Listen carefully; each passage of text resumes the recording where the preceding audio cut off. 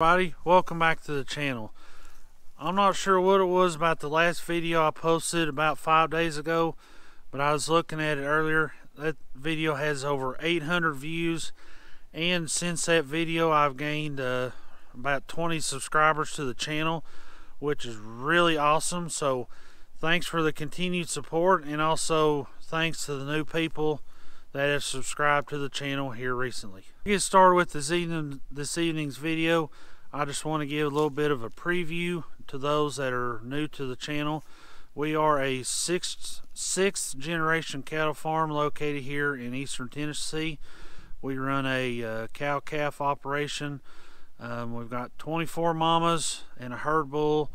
Um, we like to have our calves born about the October November time frame and then uh, of course we'll fatten them up and sell them anywhere between mid-April to the 1st of May depending on when the local calf feed, feeder calf sale is. Then also um, of course we do our own hay and all that. So thanks for joining the channel and uh, hopefully y'all stick around. On this evening's video I'm going to talk about this creep feeder right here behind me. Our calves are uh, right at the age um, to where creep feed is going to be beneficial for them. Um, we don't normally start feeding our calves till they're about three months of age because that's when their rumen and everything is more developed to where the feed will be beneficial to them.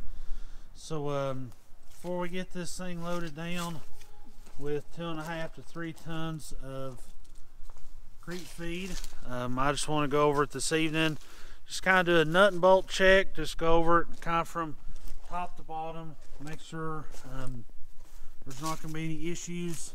Because I'd rather if there's going to be issues I'd rather or would rather find them now um, than when there's two and a half to three tons of feed in it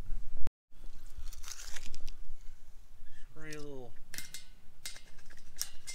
well dang it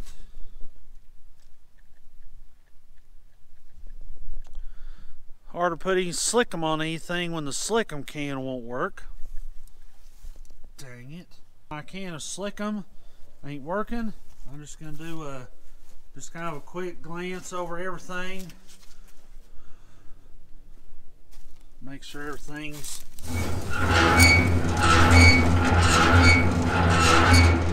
and uh, all that is there, there's a little auger inside this creep feeder that you can spin that and that kind of mixes up the feed and if there's any big chunks that get down you can just spin it and it'll hopefully break them apart. But uh just kind of a quick glance. Looks like everything is bolted to where it should. The pins are where the pins should be. Of course just got to do a little cleaning on the edges. Of course, um, just a little bit of feed there and some moisture.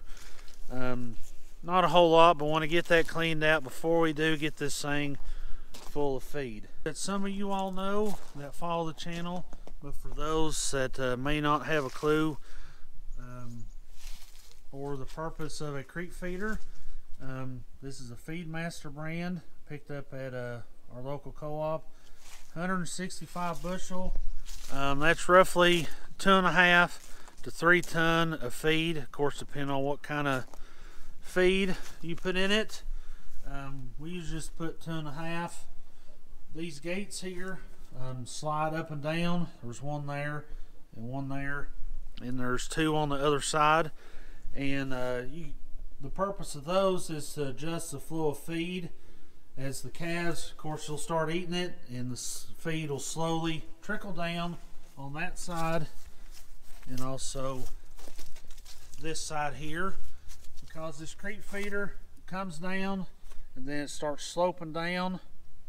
Then there's like a V here in the middle which of course lets the feed come out for the calves. Kind of an overview of this evening's video just kind of done a nut and bolt check. Everything of course the wheels are tight the bolts are where the bolts should be all the pins and everything works as it should and also I just wanted to kind of give a once over and uh, I'm sorry if it was confusing But uh, if you have any questions about uh, this creep feeder, um, don't be afraid to leave something down in the comments and I'll try to explain it the best that I can. But that's to be it for this evening's video. Hope you all liked it. And if you did, don't be afraid to give it a thumbs up. And if you want to get notifications in the future new videos, just hit that subscribe button and the little bell that says all off to the side. But other than that, um, I'm going to finish up here and uh, I'll see you on the next one.